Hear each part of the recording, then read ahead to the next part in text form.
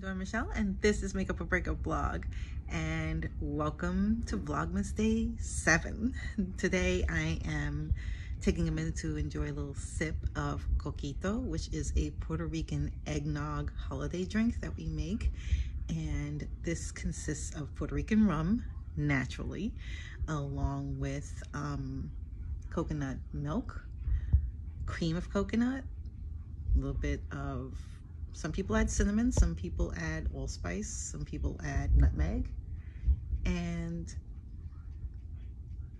mm, everybody has their own special little tweak that they add to the eggnog, but this obviously, this eggnog is not for children. This is an adult beverage, and as you see, does look like eggnog. Some people, the traditional one does have egg yolks in it, I have made it without the egg yolk and it tasted just as delicious.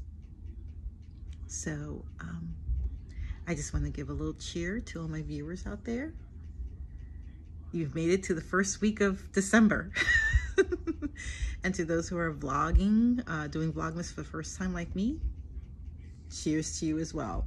And cheers to everybody out there that are uh, pushing to keep the holidays bright and festive and to make it celebratory. Because in the end we still have to celebrate life. So I am over 21 but I don't know if I should sip this on camera or just wait until after I turn off because I don't want to encourage the young ones who may be watching to indulge because this is not a fruity drink. This is like an eggnog but it has rum in it. So it's it's a distinct flavor that, uh, let's just say it's an acquired taste. um, my last video yesterday went almost like 20 minutes long and I had to whittle it down to about 14 minutes and change. So I think because I have a little more to talk about yesterday, I'm just to keep this short, simple, and sweet and just wish you a very happy Vlogmas. And again, my name is Dawn Michelle, and this is Makeup or Breakup. Thank you so much for dropping in and joining me on my latest little Vlogmas installment.